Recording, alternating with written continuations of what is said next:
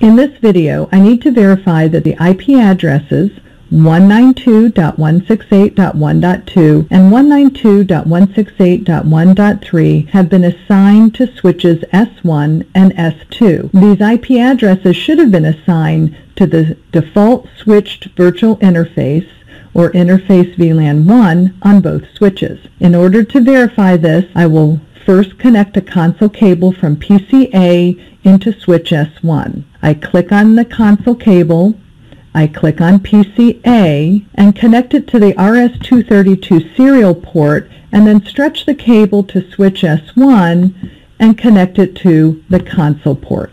Now I'll click on PCA, click on the terminal emulation program, and click OK to accept the default configuration setting, and this should take me to the command line interface on switch S1. From here, I'll type enable to switch to privilege exec mode, and then I can issue the show IP interface brief command to examine the interfaces on switch S1. I will need to press the space bar in order to view the full display. At the end of the output, you can see interface VLAN 1, and it has an IP address of 192.168.1.2 However, if you look in this column, you'll see that the state of the interface is administratively down. This means that that interface is in a shutdown state. You can also see that the line protocol of the interface is also down. In order to correct that, I first need to go into global configuration mode. Then I'll go into interface configuration mode for interface VLAN 1 and I will issue the no shutdown command which will activate the interface. And you can see that I'm immediately presented with a message that indicates that the interface has changed its state to up. From here I press enter, Control C and enter again to return to privilege exec mode. And now I can use the up arrow on my keyboard to reissue the show IP interface brief command and then verify that now the state of that interface is up and up, meaning that it is physically up and the line protocol is now up. Next, I will verify the switch virtual interface configuration on S2. To do that, I will connect a console cable from PCB's serial port into the console port of switch S2.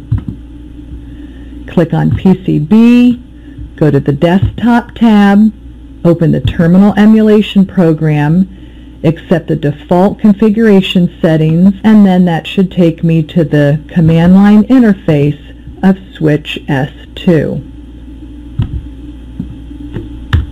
From here, I will enter privilege exec mode and then issue the show IP interface brief command to examine the interfaces on switch S2. You can see at the end of the output we have interface VLAN 1 and at this point it has not yet been assigned an IP address.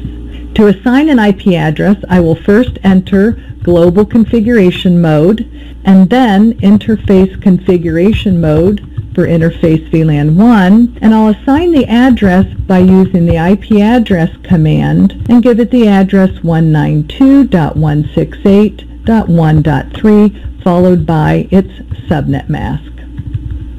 In order to activate the interface, I will use the no shutdown command or no shut for short and you can see that the interface has changed its state to up.